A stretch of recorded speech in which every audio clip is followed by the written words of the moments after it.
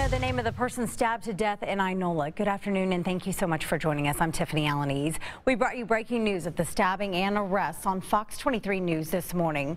Sheriff's deputies say the victim was 24-year-old Fabian Perez. Fox 23 has new details this afternoon. Naomi Keitt is live with what else she's learned about the case. Naomi?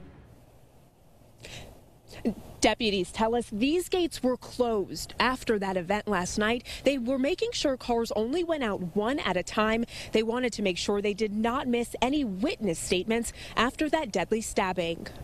Chaos. It takes an absolute army to work a crime scene like this. It's how the Rogers County Sheriff is describing the scene of a deadly stabbing at the Riverbend Arena. Still a lot to do uh, with the processing of the evidence.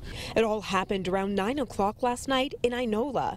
They were called to this venue after they say a fight between two groups of men turned deadly. We knew that at least there were several males in each group that were not getting along. The sheriff says 24-year-old Fabian Perez was on a horse in one of the stall areas when he was stabbed to death. He says Perez may have been a participant in this rodeo.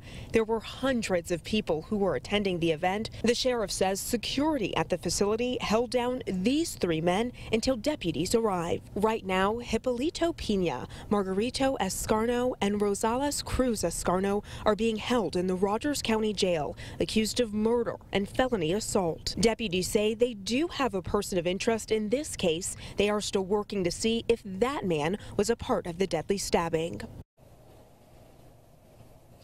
We did get a statement from the arena excuse me, they say, quote, Riverbend Arena was rented out to a private function, and we are currently cooperating with law enforcement during this investigation. Our thoughts and prayers go out to the victims and their families during this time. Now, I did get a chance to talk with the sheriff about the murder weapon and about the effort to interview those hundreds of witnesses. I'm putting that story together for you on Fox 23 News tonight at 5.